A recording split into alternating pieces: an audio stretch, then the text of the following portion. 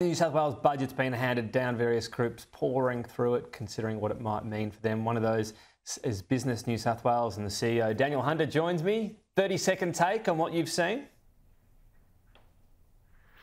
I think in multiple ways it was a vanilla budget and probably the budget we expected.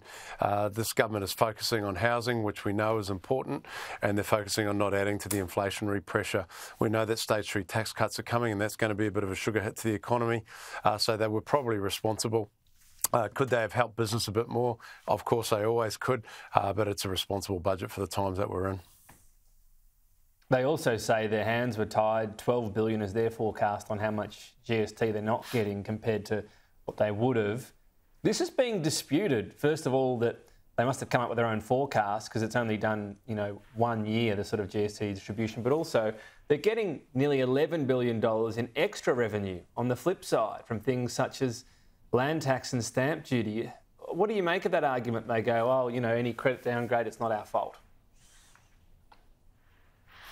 Look, I, I, think the land tax one in particular is one that concerns us because you know, they are putting a hold on that tax-free threshold, um, which we know is going to get passed on to some small and medium businesses via their landlords. Um, however, we also know that there is a, a, GST rip-off going on from the federal government, the Commonwealth um, uh, Commission there. Uh, New South Wales is not getting its fair share of GST. It is pushing us into deficit. We've got to remember here that there are other states in Australia that are in surplus because of GST revenue. Uh, New South Wales has always done the heavy lifting. Uh, we went into COVID with very little debt in the state. We did all the heavy lifting through COVID, and now we're getting less GST revenue than ever before.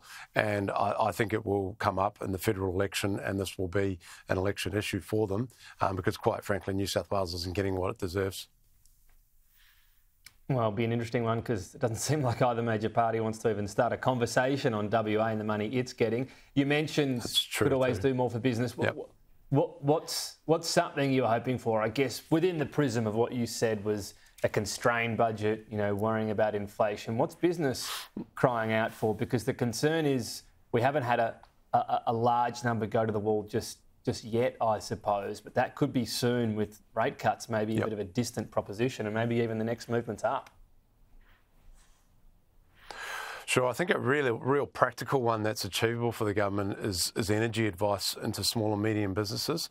With the energy transition going on and the energy costs, our surveys show us um, that energy cost is one of the main um, uh, concerns of business out there.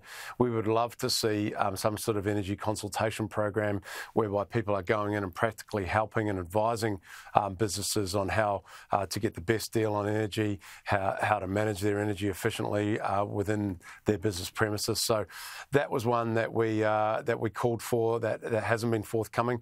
We'll keep at that. Uh, and also probably the other one is regional payroll tax.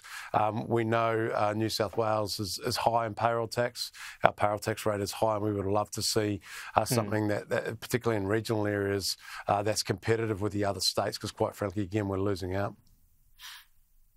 Yeah, it was meant to go many years ago. Maybe there'll be a push for that again one day. You can't see it right now, but you never That'd know. Daniel good. Hunter, thank you.